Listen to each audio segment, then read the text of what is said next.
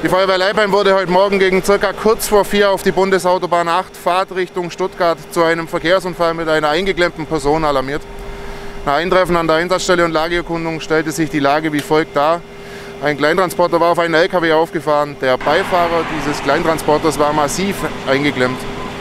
Nach der medizinischen Erstversorgung durch die Feuerwehr und den Rettungsdienst wurde dann in Absprache mit dem Rettungsdienst die technische Rettung durchgeführt. Es wurde die Einsatzstelle abgesichert, der Brandschutz sichergestellt und verkehrsleitende Maßnahmen durchgeführt. Äh, Im Anschluss an die technische Rettung bzw. die Befreiung des Patienten wurde dieser im Rettungsdienst übergeben und wir übernahmen die weiteren Tätigkeiten der Einsatzstelle.